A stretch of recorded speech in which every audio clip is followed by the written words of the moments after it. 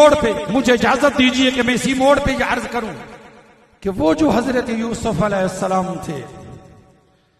अब यहाँ ये जुमला अदा करना मेरे लिए ज़रूरी हो गया है कि हज़रत यूसुफ अलैहिस्सलाम वो जो हज़रत यूसुफ अलैहिस्सलाम थे, उनके साथ भी, उनके विशाल के कई सौ साल बाद ये मामला पेश आया था कि जनाब हज़रत मूसा अलैहिस्सलाम ने, हज़रत मूसा अलैहिस्सलाम ने हज़रत यूसुफ अलैहिस्सलाम की मजार पुर अनवार को मुंतकिल फरमाया था। अब मैं ये जुमला अर्ज़ कर रहा हूँ, बतौर खास काबिल तवज्जो है। हज़रत मूसा अलैहिस्सलाम वो भी नबी थे। हज़रत यूसुफ अलैहिस्सलाम ये भी नबी थे।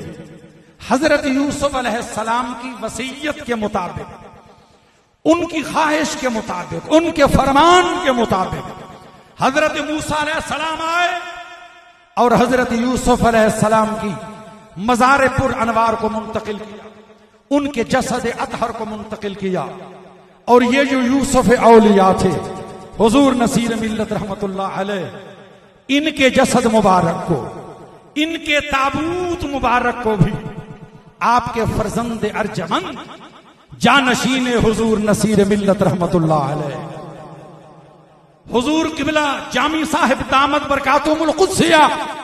इन्होंने अपने वारिद गिरामी अलैह रहमत की उस वसीयत को पूरा करते हुए, जो हुजूर ने आपको भी फरमाई थी, और आस्थान पाक के और लोग भी गवाह मौजूद हैं कि जिनके सामने हुजूर नसीर मिल्लत ये इजहार फरमाया करते थे कि मैं जब इस दुनिया से चला जाऊँ तो मेरी जो कब्र है, मेरे वालिद गिरामी रहमत के पहलू में बनानी है।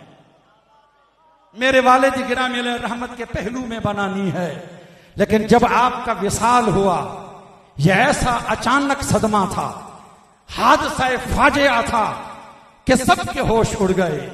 गम की वजह से, दुख की वजह से, तकलीफ़ की वजह से उस वसीयत पर अमल न हो सका।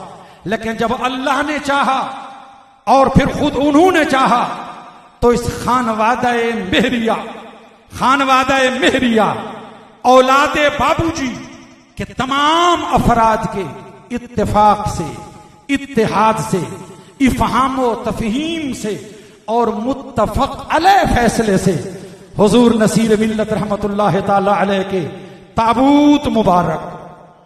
ताबूत बजाय खुद एक चलती फिरती कब्र होती है।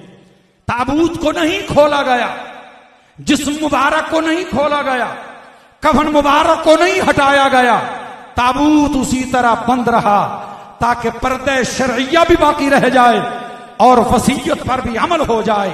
अपने वाले गिरामी रहमत, यानी गुलाम मुहिनुद्दीन, जो दीन की मुआमनत करने वाले हैं, उनके साथ हुजूर नसीर मिल्लत अलैह की मजारपुर अनवार बनी।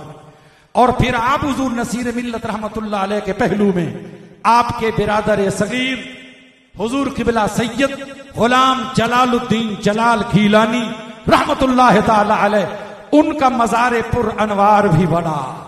तो उस हज़रत यूसुफ सलाम की मजार को भी मुंतकिल किया गया। अगर मैं इस इंतकाल मजारात पर दलाइल देना शुरू करूँ तो हज़रत जहदुलंबिया हज़रत सुल्तान तारिकीन बाबा फरीदुद्दीन गंज शकर ताला उनकी मजार पुर अनवार को, उनके महबूब मुरी हज़रत निजामुद्दीन ने। बोला यार, ये जुमला चुप करके सुनने वाला है। आप खुद इंसाफ करें, ये जुमला चुप करके सुनने वाला है।